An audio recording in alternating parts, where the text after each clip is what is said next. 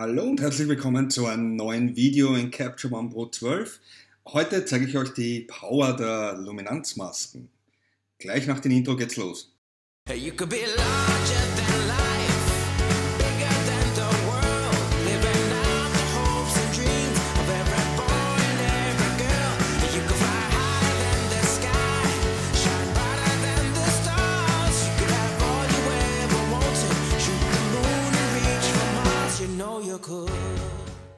So, also, mit Capture One Pro 12 sind eine, also ist eine neue Funktion hinzugekommen und das sind eben die Luminanzmasken.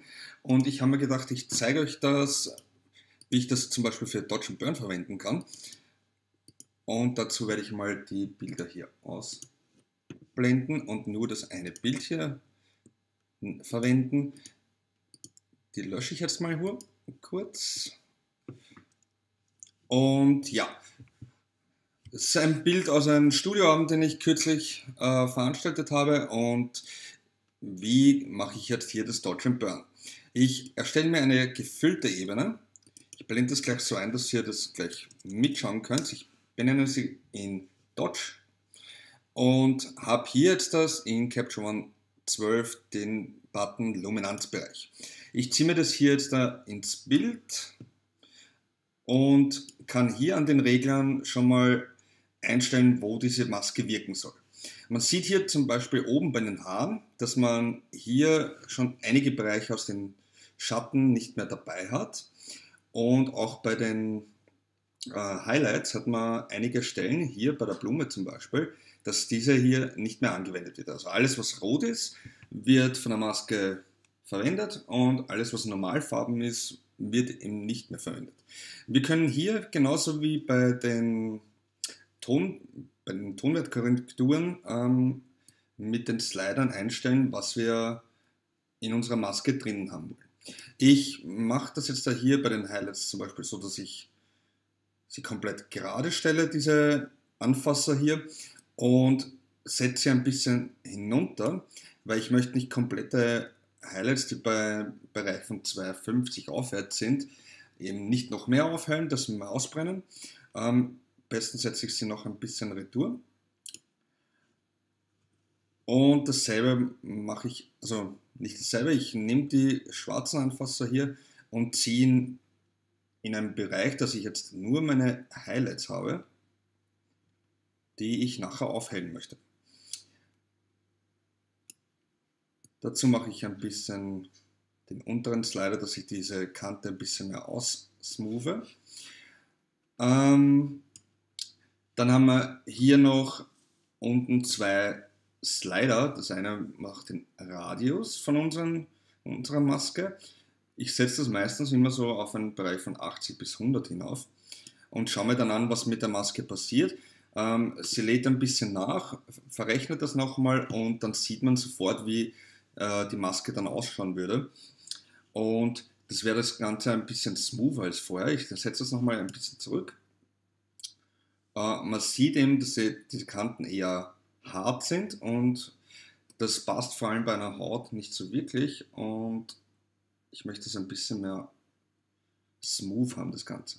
Die, bei der Empfindlichkeit kann ich jetzt auch einstellen, wie stark die Maske jetzt dann auch angewendet wird. Dazu gehen wir es mal auf 0 und schauen sich das Ganze mal kurz an. Ähm, man sieht, dass hier ein bisschen mehr Bereiche äh, maskiert sind. Ich gehe da ein bisschen wieder hinauf. So. Noch ein bisschen.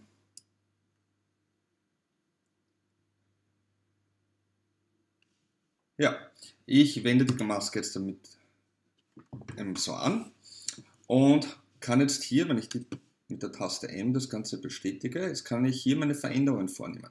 Ich erhöhe da die Belichtung ganz dezent, 0,18. Wenn es zu viel ist, dann merkt man sofort, dass hier ähm, Bereiche der Haut ähm, ausbrennen würden. Daher wirklich nur ganz dezent anwenden. Es reicht auch in den meisten Fällen, wenn das so bei 0,2 ist, circa. Machen wir so. 0,2. Und das Ganze mache ich jetzt auch in umgekehrter Folge eben für das Burn. Dazu blende ich meine Maske wieder ein, gehe in den Luminanzbereich und schaue mir das Ganze wieder an. Ich mache das jetzt in umgekehrter Reihenfolge, stelle mir meine, meinen Slider hier so auf 10 circa. Und jetzt gehe ich mit der Maske bei den Highlights so weit runter, dass ich wirklich nur die eher dunkleren Bereiche habe. Und jetzt move ich die ganze Maske ein bisschen aus. So, jetzt kann ich da oben bei den Augen noch ein bisschen runtergehen. So, dann die ganze Maske nochmal beim Radius ausmoven. Und wir haben eine Maske eben für das Burn. Die wende ich jetzt auch wieder an. Und hier kann ich ein bisschen das Ganze abdunkeln. Auch dezent, braucht man nicht zu stark runtergehen und man kann es sich eben auch dementsprechend anschauen.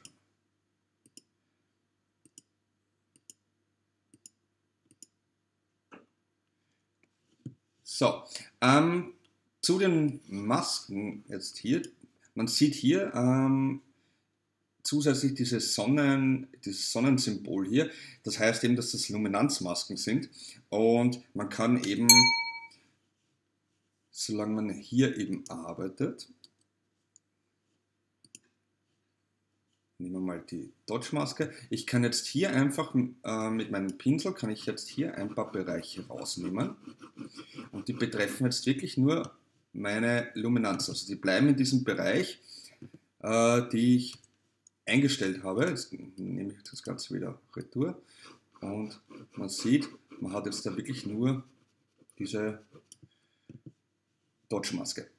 Ähm, wir haben jetzt dann noch einen Bereich, den nennt man hier Maske rastern. Wenn ich das mache, dann ist es keine Luminanzmaske mehr und das ist eine normale Maske. Jetzt kann ich hier wieder ganz normal drüber maskieren, wie ich möchte. Aber das würde jetzt den Sinn von der Luminanzmaske eben zerstören. Also nur eben, falls ich nachher bei der Haut noch was machen möchte, ähm, einfach zwei Retour wieder, bis man dieses Luminanzsymbol hat und man kann wieder arbeiten. Ich gebe die Ebene jetzt wieder rein und jetzt kommt das ganz Coole. Man kann, wenn man die weiteren Bilder jetzt dann noch hinzufügt, dann also aus einer Serie zum Beispiel ist das ganz cool.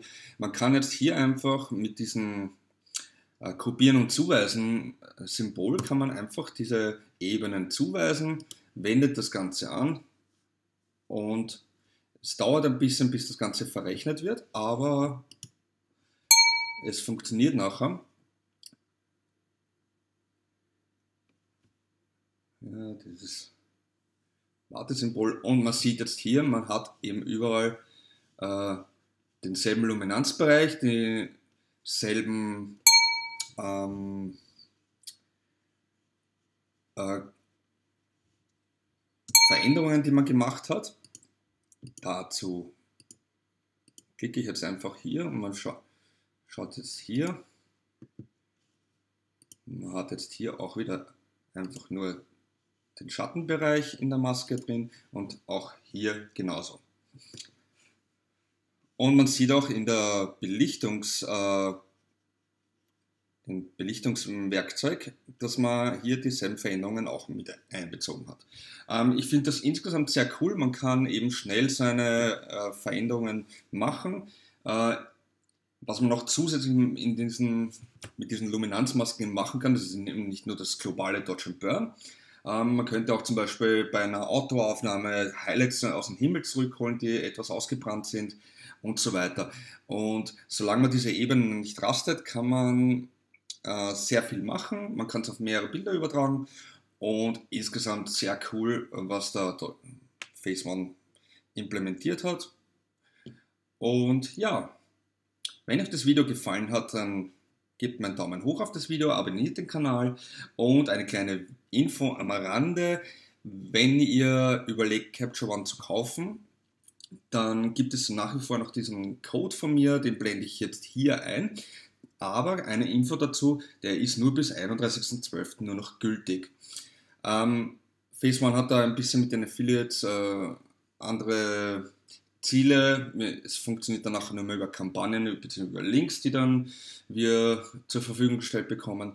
Und der Code funktioniert dann nachher nicht mehr. Also wenn ihr Capture One noch für die minus 10% haben wollt und Capture One verwenden wollt, dann verwendet diesen Code. Bis 31.12. habt ihr Zeit und danach müsst ihr eben warten, bis irgendwelche Kampagnen gestartet werden. Ähm, Ob es sinnig ist, dass äh, Facebook das so macht, äh, sei dahingestellt. Und ja, man wird sehen, was kommt. Wir sehen uns beim nächsten Video. Bis dahin, ciao.